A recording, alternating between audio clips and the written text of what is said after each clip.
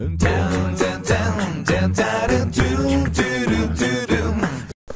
allons vous présenter un album qui s'appelle Le Grand Distributeur de Temps. L'auteur est Agnès de l'Estrade et l'illustrateur est Amélie Thibault. Merveille est une petite fille très gaie. Elle aime la vie, les discussions avec ses parents, les bagarres avec son frère, les histoires incroyables de grand-mère et les câlins de pistache. Elle offre volontiers de son temps, le partage avec ses amis, ses voisins et les gens qu'elle aime jusqu'au jour où le temps manque.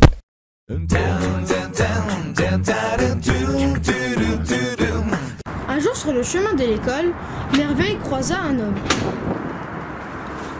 Bonjour, pourquoi pleurez-vous? Pourquoi votre fille est toute pâle? Car moi et ma fille, nous n'avons plus de temps pour vivre et j'ai perdu mon travail. Ah, je suis désolée. Tenez, je vous donne tout ce qu'il me reste. Merci beaucoup.